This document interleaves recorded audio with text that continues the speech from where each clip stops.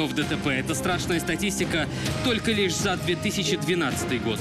Но не за каждую загубленную жизнь виновники несут ответственность. Есть так называемая каста неприкасаемых. Сотрудники правоохранительных органов.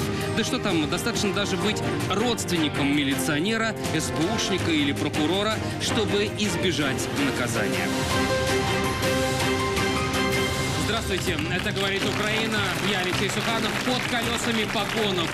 Вот тема нашей сегодняшней программы. Друзья, обратите, пожалуйста, внимание на экран. В этот день Эдем Гафуров собирался на дискотеку. Он вышел из дому и направился в соседнее село.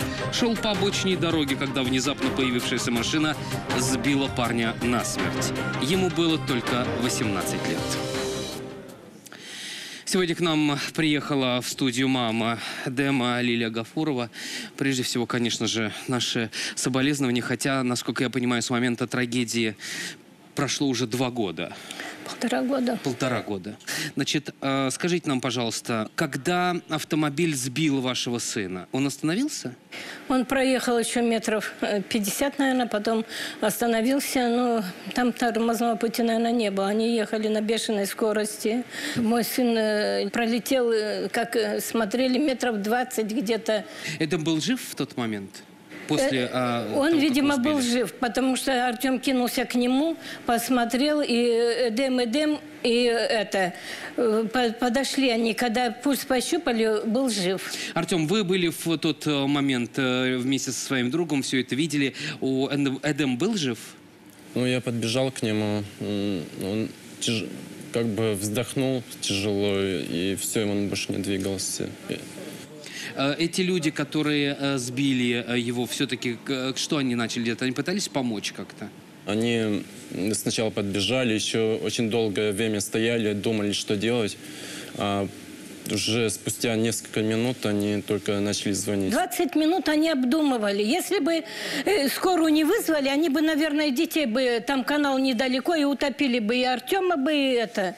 Правда, что они э, сами загрузили Эдема в машину и повезли его в больницу?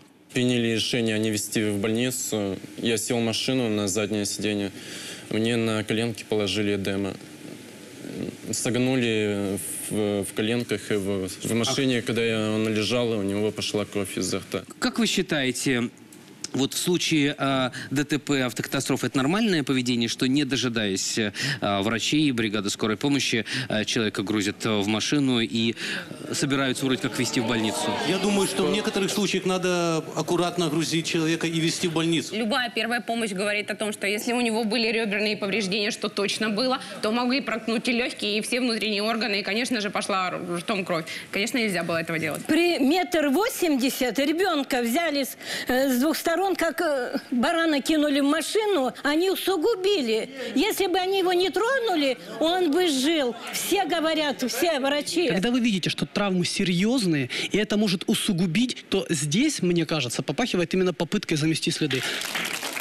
А сколько ждали скорую? Не больше 10 минут. Не Очень больше быстро. 10 минут ждали Да. скорую. То есть, получается, когда э, эти товарищи погрузили э, Мы Эдема только в выехали, машину... уже на встречу ехала скорая. То есть, вы, То есть вы скоро не поехал на остановились? место ДТП, а вы поехали в больницу, правильно я вас понял? Да. Отлично. Это вот Владимир Петрович, кстати, э, совсем подозрительно уж становится.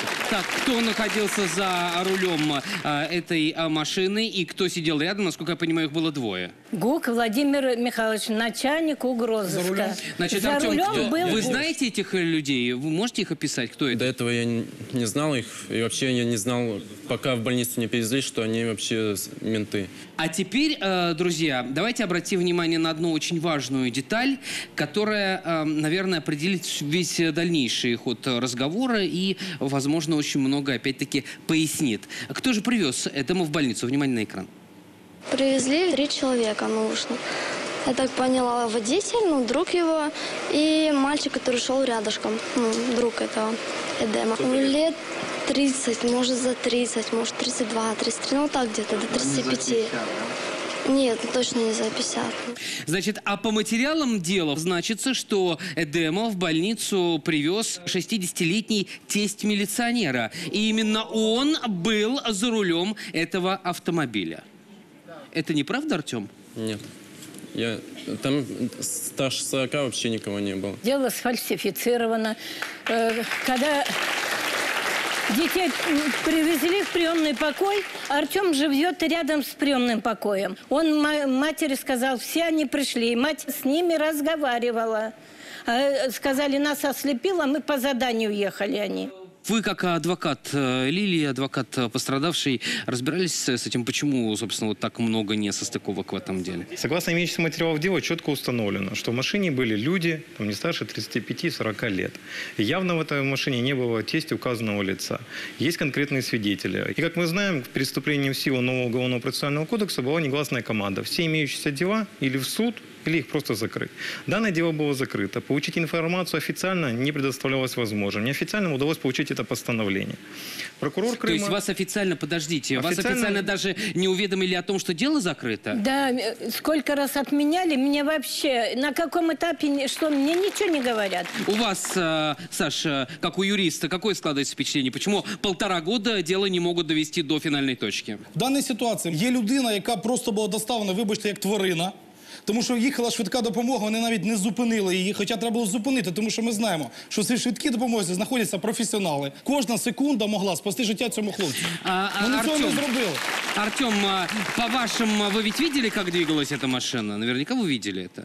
Вот по вашим оценкам, на какой скорости она двигалась? Ну, еще проехалась ровно, никуда не св- свернула, значит, на большой. Ну, примерно вы не можете оценить, да? Как вот э, Лилия говорила, что 20 метров тело пролетело. Значит, если тело пролетело 20, от 15 до 20 метров, а, а, то на какой скорости, предположительно, двигался автомобиль? А судя из э, как бы удара, э, из того, что я слышу, удар был произведен крайней частью и, наверное, где-то в районе стойки. То есть крыло битое должно было Крыло, быть, капот, капот. практически было целый. правая часть. його, виходить, да? Да, ну, я должен сказать, что, наверное, не меньше 80-90 километров. 80 километров в час. А в материалах дела какая скорость Там указана? дело фигурирует скорость 60 км в час. 60 километров в час. Значит, вы считаете, что это дело не расследовано только потому, что а, в нем фигурируют милиционеры, и они, очевидно, являются виновными этой трагедии? Я скажу так, тут много зависит от человеческих качеств. Как истинный Э, юрист, Недавно ну, была очень серьезная авария. Я был э, в кабинете одного очень высокого чиновника. Этому чиновнику перезвонили и рассказали об этой аварии, там, со смертельным исходом. Имея человеческие нормальные качества, он сказал, я никоим способом не буду э, способствовать, чтобы это дело закрыли. Вы, должны пригласите его в милицию. Мне кажется, такие нужны в Он из милиции. милиции. А, он из милиции? Вот, значит, не все так плохо. Это говорит Украина под колесами погонов. Вот тема нашей сегодняшней программы. Наш следующий э, гость, бывший сотрудник ГАИ. Он разоблачил своих э, коллег по цеху, и за эту правду он был уволен. Встречайте, пожалуйста, Вадим Синявский.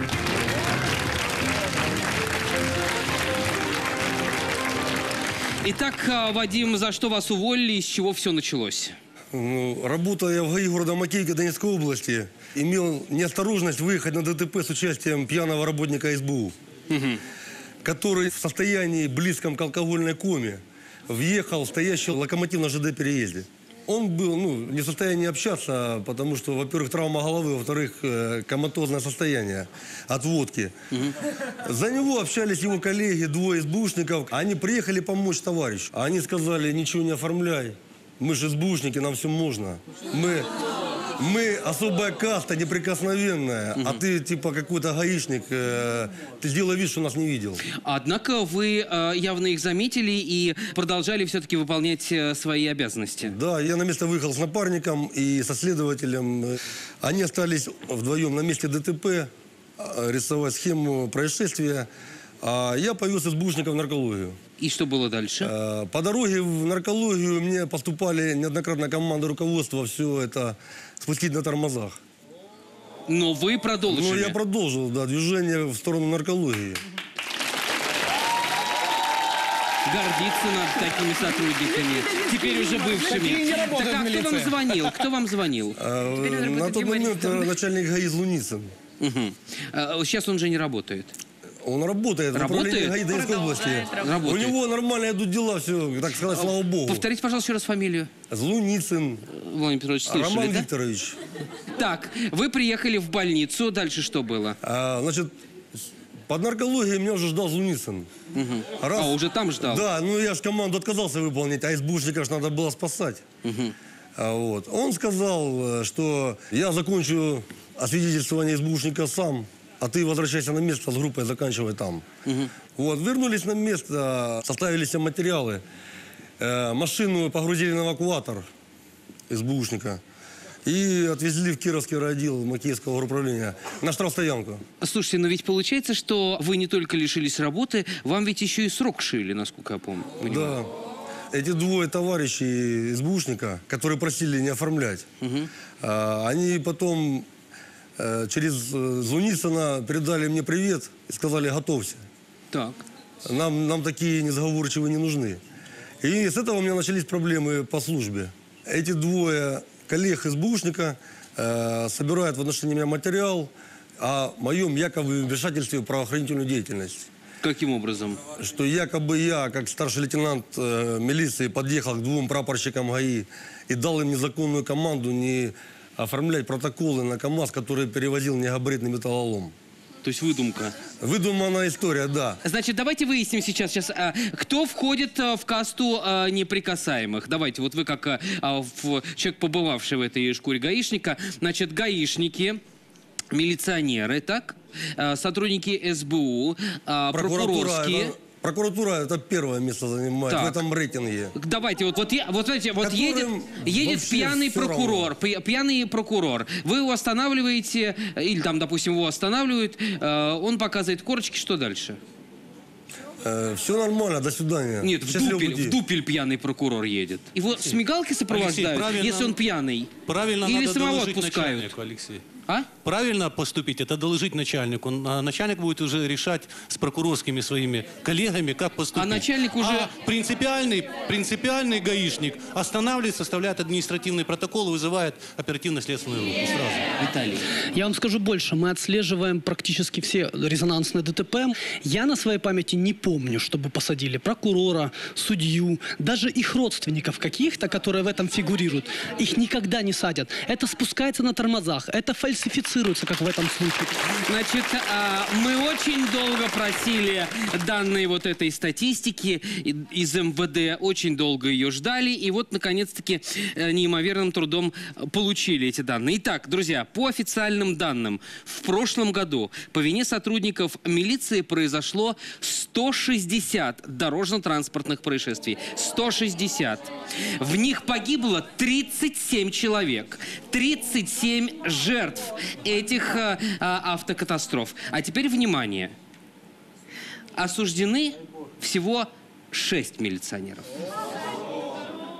Притом надо понять еще, как осуждены. Иногда условно осуждены. Вот, это точно. Кстати, вот вы же занимаетесь, э, насколько я понимаю, статистикой этих э, всех э, преступлений и наказаний. Вот эти вот шесть милиционеров, они что, действительно просто условно осуждены или действительно сели в тюрьму? Абсолютно условно. И, во-первых, я думаю, что до этого, до того, что, как- как их осудить, затягивались очень долго дела.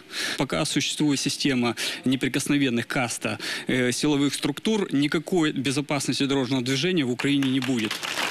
Тема нашей сегодняшней программы «Под колесами погонов», друзья. Итак, только что я вам озвучил данные, предоставленные э, нам с трудом из Министерства внутренних дел, данные от Генпрокуратуры и данные от э, Службы безопасности Украины мы получить не смогли. Для нашего следующего героя 19 ноября 2012 года стал, пожалуй, самым страшным днем в его жизни. Внимание на экран.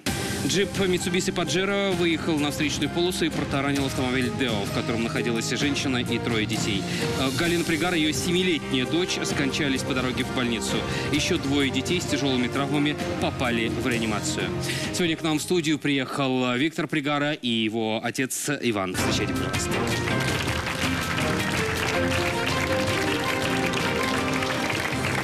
Итак, э, Виктор, когда вы приехали на место катастрофы, то э, что вы там увидели? Был ли виновник этого ДТП на месте? Так, я приїхав за хвилин 10 з моменту ДТП. Виновник ДТП стояв біля своєї машини. Я з ним розмовляв. Він був п'яний, дуже п'яний. П'яний? Так. А, так. Я до нього підійшов з питанням, що, як. Він гонорово, нагло мені відповів. А що, чуть-чуть машину поцарапав. Чуть-чуть машину поцарапал. Так, давайте еще раз э, посмотрим, друзья, на экран, на те фотографии, сделанные на месте автокатастрофы. Вот так вот и чуть-чуть поцарапал э, машину виновник этой автокатастрофы. Кто сидел за рулем? Е, Павло Нагірний, е, який виконує обов'язки начальник е, Хуської філії Закарпатгазу. Именно он был пьян? Так. А, скажите, его отправили на медосвидетельствование? Е, ну, його не відправили, тому що на місці аварії одразу прийшов його сват, який працював е, теж у відділку міліції. Був начальником слідчого відділку, підполковник міліції відставці Попович. І слідча група, яка виїхала з слідчим Гомечком, переговоривши з цими же його родичами Поповичем, і він зник з місця ДТП. Просто исчез? Так, да, просто зник. Александр, это нормально? Це взагалі жах, чесно кажу, жах просто. От розповідають от такі речі. Тим паче, що в даній ситуації є смерть людей. Є ну хто ж пов- ну, повинен ж нести відповідальність ця людина. Тому що сьогодні він збив вашу жінку, завтра він зб'є ще, ще якусь дитину. І далі, що у вас далі стало? Е, Він, Справа хоч порушена? Порушена справа? Е, Справа порушена. Це була перша справа на Закарпатті по новому КПК. І, чесно говоря, вони самі по новому КПК там чуть е, тяжче працювали. Результат який? Людина де він зараз? знаходиться? Людина, ніхто не знає де. Перетнув никто не кордон. знает? Справа Как-то никто фактова? не знает. Невідносно? Подождите, но его объявляли хотя бы в розыск? Он же не мог Не, ху- исчезнуть, как, я Хочу, не хочу знаю. додати ще того ж вечора, того ж вечора, 19 лютого. е, Він все ж таки з'явився у лікарні, але не на приймальному відділенні, а у психдиспансері, Куди було викликано. Где он заявился? Психдиспансер. В психдиспансере? А при чем здесь психдиспансер? Справочку взять. Знаете, это уже схема. Вот в предыдущем случае мы слышали аналогично. Люди посовещались, придумали как, погрузили и поехали. Они знают законы. Они знают, что нужно делать, что не нужно, как избежать, где скипнуть. И они этим пользуются. А люди даже с адвокатами не всегда могут дело свое прочесть. Так подожди, а он до сих пор в психушке? Е, ні.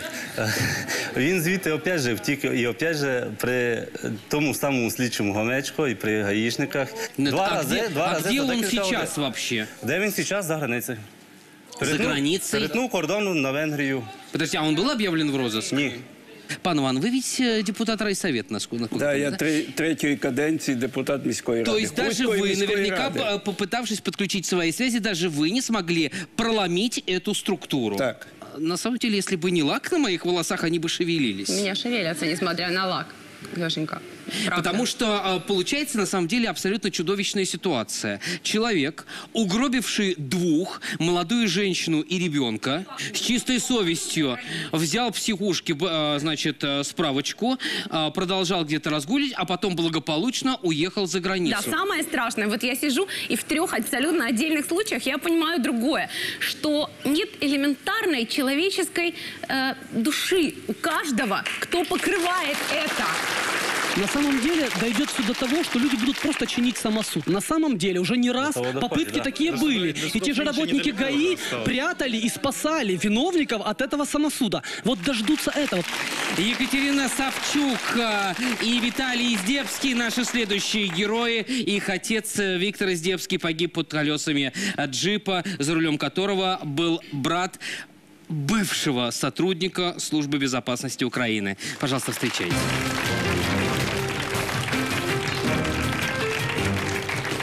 Итак, перед тем, как мы сейчас э, начнем разговор с нашими уважаемыми гостями, э, давайте, друзья, обратим внимание на экран. Я почув удар настільки сильний, що я думав, що якась машина, ну, аварія якась. Коли вже прибіг, побачив, що це да, це Вітю збили, да, і всі це все бачили, як він переходив. А, Скажите, а где ваш а, папа переходил дорогу? Это а, был пешеходный переход или он Нерегульований пішохідний перехід. нерегулируемый? Но это был пешеходный переход. Знак був відповідний, так? Це світлофор, але це було пів першого ночі, Тобто він не працював. Ну, знак і зебра там є. Ну, там ж така ситуація була, що він е, збив і залишив і поїхав. Був затриманий. Він не, не, не зупинився? Не зупинився, був затриманий через півгодини підрозділом Беркут. А, Від, від взяття крові відмовився. Ну, його забрали і через 4 години взяли кров на експертизу і виявили 2,3 промілі. 2,3? Так знайшли коли? Знайшли в той самий день? Кров, просто? кров взялась після 4 годин після ДТП. Значит, а, Это на, одна из на таких- момент автокатастроф было еще больше. 100%. Это сколько надо выпить, чтобы было 2,3? Ну, бутылку минимум. Это правда, что, э, значит, вот этот вот виновник э, этой катастрофы продолжил движение даже тогда, когда папа был уже на капоте и... Ну, він його провіз близько 30 метрів, скинув і поїхав далі. Будьте добры, внимание на экран.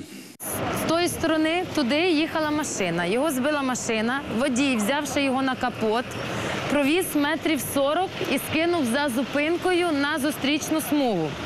Там його і знайшли, визвали скору і звідти його і забрали. Обычно вот такие ситуации, когда сбивают пешехода на пешеходном переходе, э, ну, там 90% этот человек находился в состоянии близком к тому СБУшнику, который ехал в локомотив. Просто вместо локомотива стоял человек, понимаете? То есть э, состояние близкое к алкогольному коматозу. Да. Ну вот давайте вернемся опять к нашей истории. к этой. Так что, каковы результаты расследования милицейской? э, Ну, дивіться, я вам скажу перший рапорт першого слідчого. 3.08 е, біля 0030 водій Фарина, керуючи автомобілем Lexus, збив пішохода на регульованому пішохідному переході. Водій Фарина на місці ДТП не зупинився і зник з місця пригоди. Ну і в подальшому нашу справу закривають. А на які підставі? Закривають? За відсутністю складу злочину. Как это так? Саша, это... Це, це взагалі я в шоці. Це Я як? хочу подивитися цю постанову про закриття. А, а чем мотивируют-то? Там мотивація повинна бути.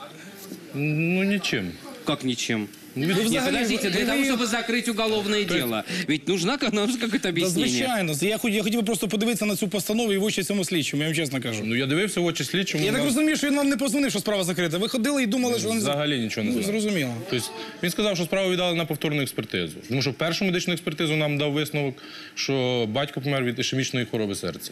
Что? А чего? То есть, подождите. А скажіть, будь ласка, фамілію цього слідчого, Ні, хай вся Україна узнає. Я хочу... Шевчук. Скажіть, будь ласка, він зараз працює в органах, так? Працює. Працює, продовжує далі так працювати, так? В такому ж Ще стилі. перший слідчий Стаднійчук, який А закривав. посада в нього вже виросла, так? Стаднійчук отримав вже обле... Хай Україна знає своїх героїв. Чому? Це потрібно знати. начальник відділу розслідування ДТП області. Значит, э, пьяный родственник э, бывшего правоохранителя, силовика, сбивает э, человека на пешеходном переходе э, насмерть Ні, 40 суток він лежав в реанімації. в реанимации. Да. Но он сбивает его, а, выбрасывает, э, значит, э, на обочину, не, не оказывая помощи, не останавливаясь, Да. скрывается с места ДТП. И потом... Слідчий закриває справу за відсутністю складу злочину. А сам виновный что утверждает? Ну, вони мотивують все тим, що транспортна експертиза показала, що не мав технічної можливості зупинитися. Ну він же був п'яний, Не він дивився з великою Какая швидкістю. Як він не міг разница? зупинитися? А какая разница, имел или не имел? Он не остановился и сбил конечно, человека он сбил, насмерть. не Зато остановился. наверняка он имел Нет. возможность сделать так, чтобы э, потерпевший умер от ишемичной э, болезни сердца. Я уверен, что не без него это было сделано. Просто практика такова, что сразу следователь пишет заведомо в этом протоколе уже те цифры, на которые экспертиза скажет, не имел возможности остановиться, все классно. Кстати, о цифрах. парень. Лен, угадайте, какая скорость движения была указана в документе? Ну, я думаю, что-то около 75, наверное, километров в час. Сколько? Какая скорость? 55-60.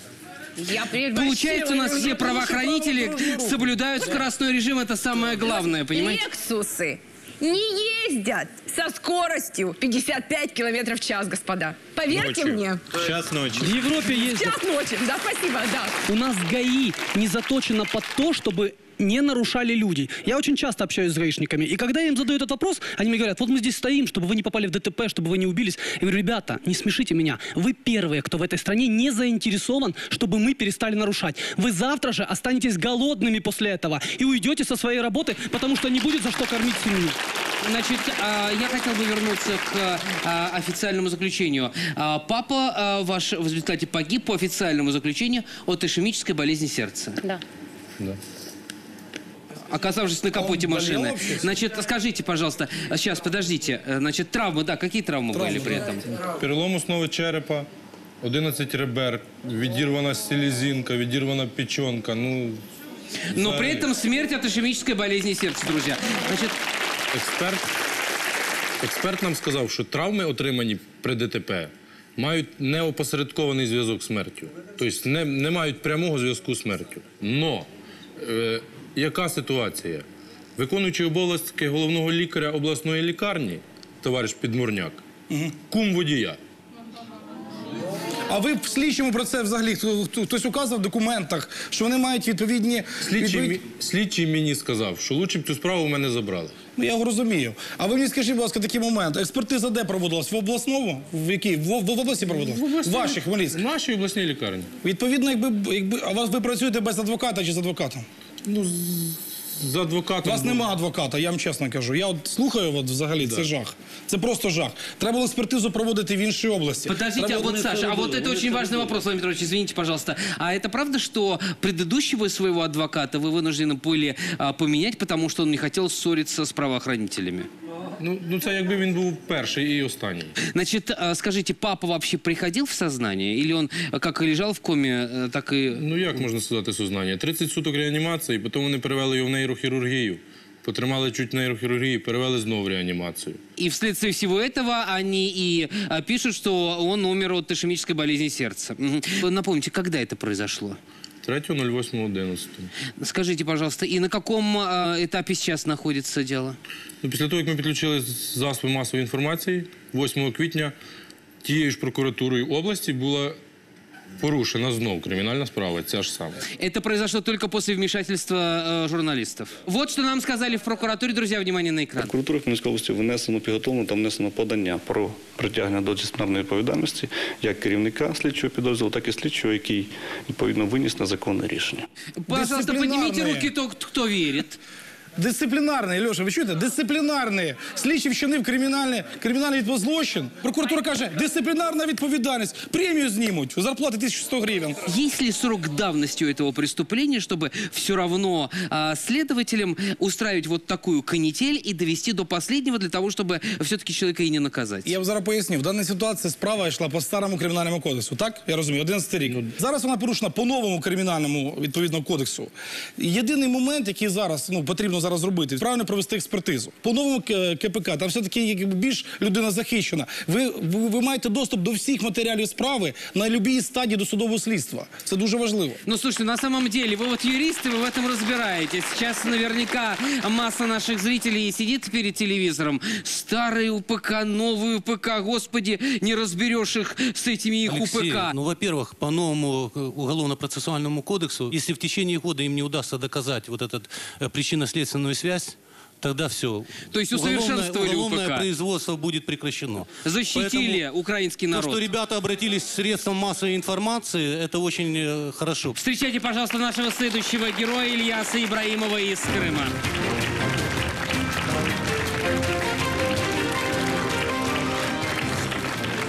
А, Итак, э, Ильяс, вашего шестилетнего сынишку сбили на пешеходном переходе. Кто был за рулем? За рулем был сотрудник милиции. Уже шесть месяцев я добиваюсь того, чтобы хотя бы э, его признали как подозреваемого. Э, Ну, на сегодняшний день он проходит как свидетель, а мой сын как виновник. Внимание на экран, друзья. После этого ДТП Эмиру Ибраимову вырезали селезенку. В свои шесть лет мальчишка стал инвалидом. Вместо радужных детских рисунков он постоянно рисует то самое страшное в его жизни ДТП. Итак, а, каким образом а, вашего сына умудрились сделать виновным? Дело в том, что он забрал ребенка моего, посадил его на заднее сиденье и уехал в больницу. И это я считаю, что он специально скрыл факты. А свидетели подтверждают, что, а, значит, ваш сын переходил по пешеходному переходу?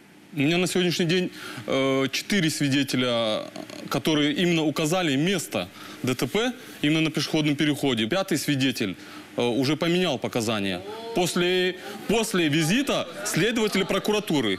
После визита следователя прокуратуры. То есть вы подозреваете, У меня что есть на них запись. о- оказывают давление? Да, у меня есть запись. Записывал, записал его на диктофон. Он четко указал, что да, я видел, как твоего сына сбили на пешеходном переходе. Сейчас он уже дает такие показания, которые э, указывает сотрудник милиции Рыженко. Э, Есть другие свидетельские показания, друзья, внимание на экран. Эмир увидел своего одноклассника. Он вот так побежал, и побежал, и здесь машина стоит, и вот здесь его уже сбило. Удар произошел вот, вот здесь вот на пешеходном переходе. Стекла вот здесь вот были. Значит, Владимир Петрович, вот конкретная история, когда а, а, мальчишка э, переходил, ну или перебегал, какая разница, дорогу, по пешеходному переходу, а, оказался сбит, стал инвалидом, и при этом на ребенка вешают это преступление. Это нормально? Естественно, ненормально. Ну, возьмем даже, даже ситуацию, даже если это не пешеходный переход, а просто на улице э, какой-то вот, э, водитель за рулем сбивает ребенка, нормальный водитель, человек. Так у него даже что, возникнут какие-то отрицательные эмоции, он будет доказывать что-то. Да надо спасать ребенка, надо помогать лечиться ребенку. Поэтому не имеет значения, где ты сбил ребенка. на самом деле. Но этот человек а, повез его в больницу, надо дать должное. Может, с другой стороны, конечно, он тоже а, пытался замести следы, как это пытались сделать а, товарищи в нашей первой истории. Слушайте, ну здесь аварии. простая причинно-следственная связь. Если бы он поехал в больницу спасать ребенка, то сейчас бы на ребенка не вешали это. Но это же очевидно. За всем этим стоит такой цинизм. Вот я отец двух детей, шестилетних мальчиков. Сразу у меня первое приходит, это фильм «Ворошиловский стрелок». Вот ну, там все правильно, наверное. Ну, я хочу сказати дуже важливий момент. От Ярослав цю тему підняв. Якби у нас працівники, які скоїли злочин, стали перед судом, відбули покарання, то інший чиновник, виходячи з кабака, скаже: Стоп, почекай, я ж випивши, да? А там були случаї, я визву драйвера, я визву таксі, так? А в нас так, ах, я ж там. Все, і поїхав. Це говорить про те, що у нас безнаказаність. Все, нема, закон не діє для цих людей. Что нужно делать? Давайте конкретика, вот э, конкретные советы. Я не знаю, не отпускайте этого, Я вам скажу, значит, э, головне. виновника, э, значит, держать У его нас в у кожного є обороне, мобільний приглашать телефон. журналистов. Что делать? Олексій, Снимать телефонами, Правильно. как у себя нас у кожного защищать? є Как? мобільний телефон. Сталося ДТП. Знімайте на мобільний, беріть свідків, приводьте людей з вулиць. Якщо ви поставите 5 людей, які скажуть, так, це він. Повірте, нічого вони вам не зроблять. Вся проблема в тому, що ви коли приходите до працівника міліції, що він каже? Шановний, вийди, закрий двері, я тебе запрошу. Ні, відкрий двері. Я маю тут бути.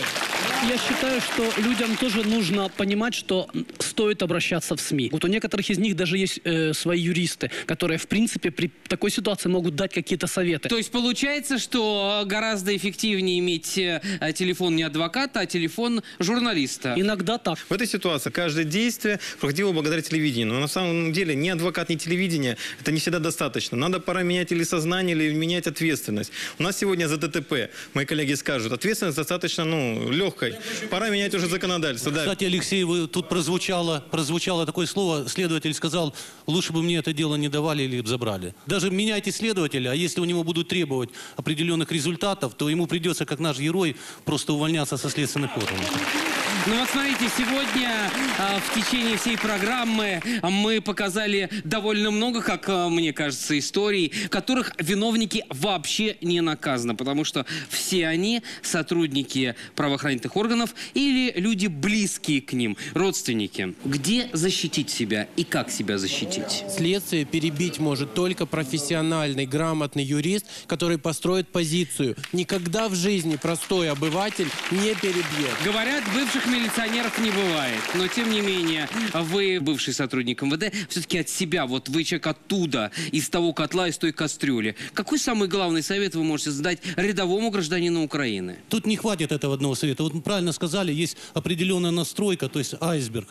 То есть надо систему в корне менять. Ну, опять. Ну, а кто ее будет менять? Кто? На, на самом деле есть в, в милиции э, департамент внутренней безопасности, инспекция по личному составу, пресса, СМИ. Это все, что мы пока можем сделать. Если государство перестроится, я говорю о глобальной перестройке, тогда все это будет действовать автоматически.